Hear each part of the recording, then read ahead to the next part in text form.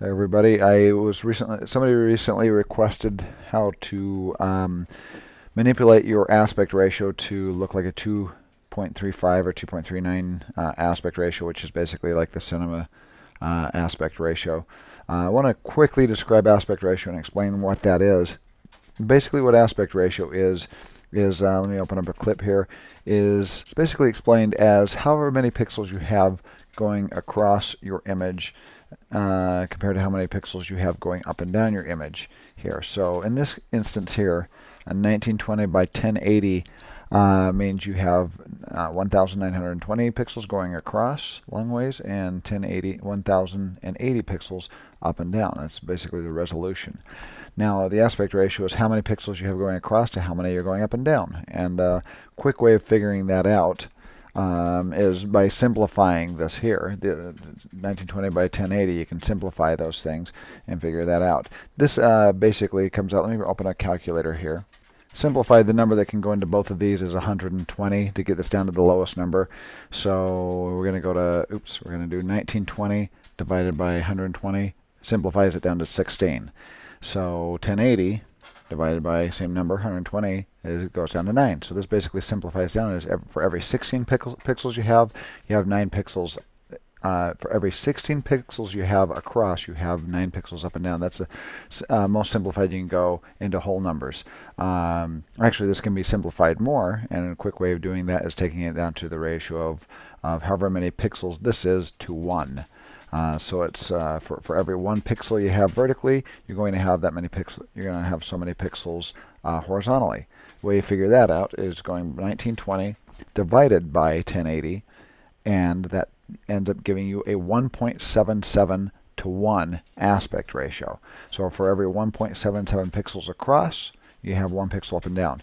But this is commonly known to uh, known as um, 16 by 9 or 1.78 if you round up there, 1.78 aspect ratio. Um, as you start getting into wider aspect ratios, you start getting more pixels going across here, and you'll get an image that goes wider across, uh, and with either the same amount of pixels going up or down, or, or less pixels going up and down. Uh, let's bring up a, over a chart here and kind of describe uh, that aspect ratio here. We've got a few different things we're going to be showing. But um, starting on with standard definition video, that ends up being a 4x3 or simplified down to a, to a 1 um, is 1.33 to 1. Uh, and that is like this kind of square here. As you go to uh, European aspect ratio, you get like 1.6 to 1. That's a little wider. Uh, that is their theatrical um, aspect ratio. Uh, but now, H, standard H high definition video, not standard um, definition, but standard high definition video is 16 by 9 or 1.78 to 1. Now, cinema, as you go into U.S. Uh, theaters, you're going to start seeing a little bit wider. You can see how much wider these get as you move down here. Notice how this is wider. This is going to be simplified to a 1.85 to 1 aspect ratio. That's where um, that's where a lot of the movie uh, screenings take place is 1.85 to 1 but then as you get the more I guess like the bigger movies that are like Batman and these big kind of uh, beautiful scenic scenic films you'll get a 2.39 to 1 uh, aspect ratio. This is considered a widescreen for theaters, but there's a very, very wide screen here. And as you get into bigger ones, you'll get 2.71 and uh, some very rare types of uh, of uh, aspect ratios for where screens have to be built specifically for uh, these screenings here. But anyway, but the standard ones, like I said, are high definition. Oops. Yes, high definition. Um, this is where theater screenings start, and this is kind of where they end until you get to IMAX and some other things there, though. But the, these here are kind of the three standards for high definition these days. So if you've shot things on, if you got a camera like a DSLR camera that shoots video, you're only going to be getting uh, a 16 by 9 video.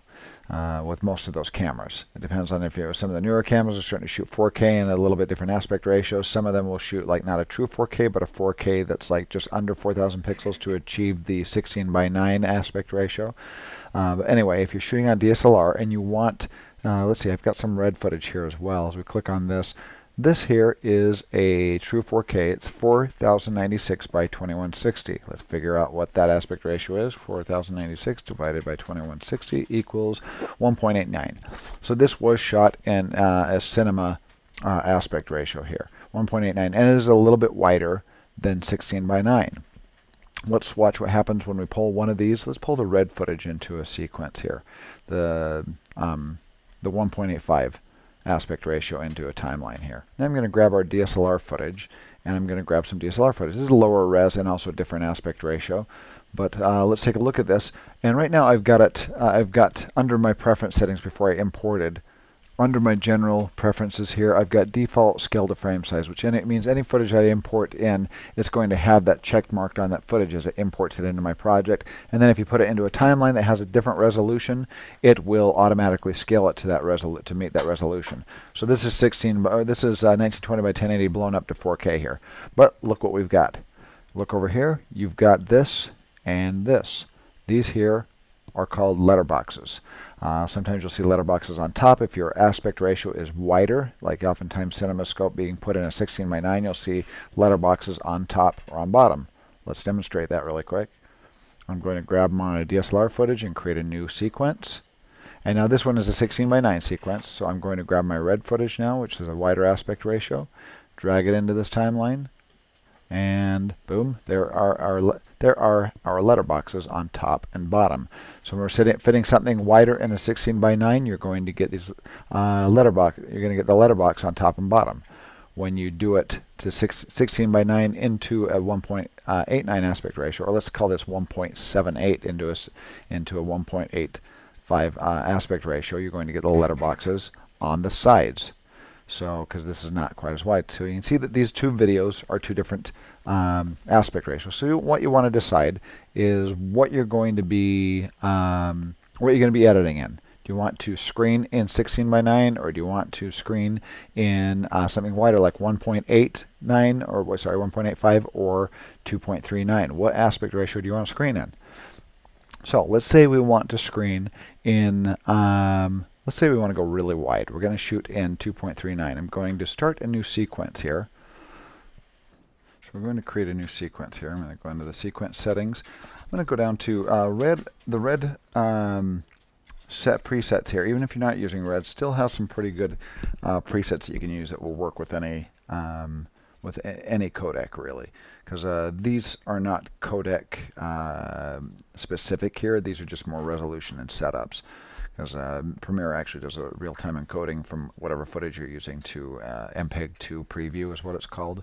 Uh, but under their 5 set, 5K settings, they do have some some true uh, what are considered um, 2.35 2.39 to 1 they, they're called 2.4 but they're, they're essentially 2.339 to 1 uh, aspect ratios here. So I'm going to create a new sequence here. Uh, I'm going to go down and name this one. I'm going to call this my like final sequence. Now what I would recommend doing first of all, see some people say um, actually just export out your movie and crop the top and bottom in, in the export, but that doesn't work because it starts cutting off heads. I'm going to show you a better way of doing this to work with this to get it to go into this wide aspect ratio. There we go. There's our wide aspect ratio. But what I would recommend first doing is uh, finding your timeline that you're going to be editing in. Uh, right now I'm just going to edit in 16 by 9. It'll process quicker, my video will, will edit quicker, so I'm just going to do a standard 16 by 9 to start with and just ignore the letterboxes. So I'm going to just quickly edit some stuff here in my 16 by 9 and uh, then I'll come back and, and, and go from there. But yeah, that's your first step is to just get your movie edited. And then once it's done, then you, that's going to be the, the finalizing part is going to be uh, conforming everything to your new 2x35 sequence two, sorry, I keep saying 2.35, it's 2.39. So I'm going to do a quick edit, come back and show you. Okay, I've done some edit here. I've mixed some footage. These projects have nothing to do with each other, but I just put them. One is 16 by 9 and uh, one is um, 1.85. So, uh, so I've got here some DSLR footage mixed with red footage, back to DSLR, and back to red. And you notice that since it's a 16 by 9 sequence, I've got this little, uh, I've got letterboxes on the red footage. So now what I'm going to do is take all my footage from this sequence. I'm going to do Command A, select it, copy it, go to my final sequence, which is in my 2.35, and paste it in here. So now we're going to go through this and you'll notice, look at the huge letterboxes on the side here. Because uh, now this is getting really wide and I go here and even the red footage has these letterboxes, not quite as much. But now this is a 2.35 to 1. So now what we've got to do is you're going to have to zoom up on this. Uh, so now this is a 5K sequence. And by the way, if you don't want a 5K sequence, you can create a custom sequence that is about half the size because 5K is going to take quite a bit to process and you're really upscaling this footage. It just depends on, um, on what you're doing.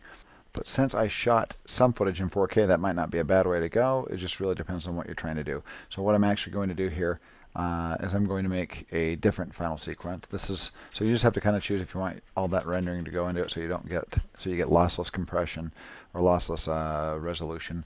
But I'm going to do a new sequence again. I'm going to go down to this uh, 2.39 aspect ratio, and I'm going to actually go up to settings here and I'm going to change this. I'm going to make this like half the resolution. You'll have to do the mathematics and figure out where you want what sort of resolution you want to work with. So I'm going to go to my calculator. And I'm going to go, uh, I'm going to cut this in half. We're going to go 5120 divided by 2 goes 2560 or 2560 and then I'm going to divide my 21 my next one in half here divided by 2 equals 1080 so there we go so this is 2560 so this is kind of like a 2k uh, video clip, which is going to be great. It's going to be great quality. It would work in a, in a movie theater or anything you want to show it in because it's still pretty high resolution. So I'm going to make that have the resolution of the 5K, and I do have this. I do have the 1.39 to to one aspect ratio. Hit OK, and there we go. There's my aspect ratio, but with less resolution, so there will be less like um, processing going on. I'm going to paste my footage in here, and now your last step is going to be going through each clip and adjusting each clip here. I'm going to go to my effect controls and I'm going to go to my motion here and I'm going to increase the scale. This is kind of a pain, but this is kind of, this is the honestly the best and true way to do it to make the video actually be the true size here. I'm going to zoom that up.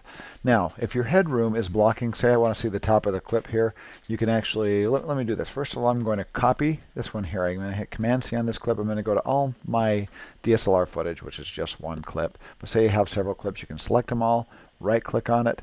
If, if they're all DSLR, you're set. You can, you can actually select everything right click on it and you can paste attributes from your first clip and it will paste the attributes um, from the first clip to the, this one, to these ones. Um, so I'm just going going to right click on this one, say paste attributes, and it does, it asks you what you want to attach. I'm just going to do just motion here. Uh, so it attaches the motion there and it zooms up on it. Now let's say, uh, let's fix these ones as well. So I'm going to go to my scale, this is my red footage, I'm going to scale up. And you will have to do this to every, every clip unless you just want heads cut off and uh, then you can just apply this all the way across, but it's going to cut some heads off at some point because it wasn't shot this way. So I'm going to copy that. I'm going to go here and paste it on my paste the attributes on my other red footage. Let me move the playhead over so you can see that happen here. Paste attributes. Yes, paste the, mo the motion. There we go. See here it is cutting off heads. So now once you've got everything zoomed up, now you can go to the beginning and click on a clip and say where do I want my vertical position. This is actually what colorists do when they figure out what the final resolution is going to be. They do the final uh, scaling and positioning. Uh, that is part of, of what the, the, the colorist's job actually. So when they're coloring, they will also do the final positioning of each frame according to the director. So I'm going to grab my vertical information here and move it up and down until I get it exactly where I want to without creating a letterbox. Right there. Now you can see more of that clip. I like that. Move on to the next shot. This one seems to be framed nicely, so moving on. Here, uh, this seems good, but let's say we want a little bit more headroom here, so I'm going to just move that down so we see a little bit more the space above the girl there. Move to the next one. This is obviously cutting off heads, and I'm going to select that and move it down. There we go. And I've got, thank you, I know my mouse batteries are low. There we go. So now I got everything exactly where I wanted to. It fits in the 16 or into the 2.35 aspect ratio. Now I'm going to export my video. I'm going to do Command M. Well, you can of course do color correction and other things, but when this exports out, you can just tell it to keep the same aspect ratio, and it, it will be in that true aspect ratio without the letterboxes. Oftentimes what people do is they'll just add a letterbox template on their timeline, and that's kind of the cheapo way of doing it. This is like the real way of doing it, unless you're doing it. I should say, actually, the real way of doing it is doing it in a coloring program like SpeedGrade or DaVinci. Uh, but this works just fine here. So I'm going to actually just match my settings here. Everything looks pretty good. I'm just going to do a quick export just to show you guys what this looks like here. So I increase my data rate here. I'm going to go up to 50 megabits per second. Do a constant bit rate. I do have another tutorial on compression here. You guys can look at that later if you wish.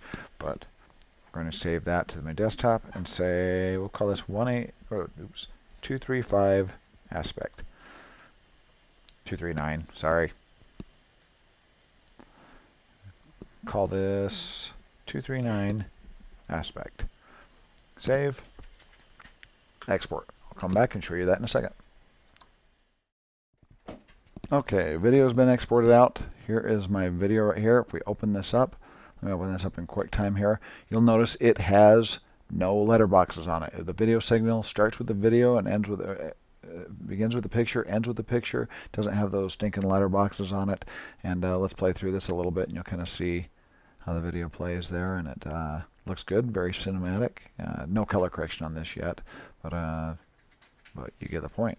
And everything's in the same aspect ratio. Looks like it was shot that way. Looks like it was, uh, and looks like it could be showing in a movie theater. DSLR footage and uh, red footage, but so there you go. So if you have any questions, uh, be sure to message me. But that is kind of how you achieve a 2.39 aspect ratio. And um, one other recommendation I would make is uh, unless you're shooting it on a really high resolution and it's intended for a movie movie screen, I probably wouldn't recommend doing 2.39. It's very wide and kind of uh, obnoxious to watch on a regular uh, laptop or computer or YouTube.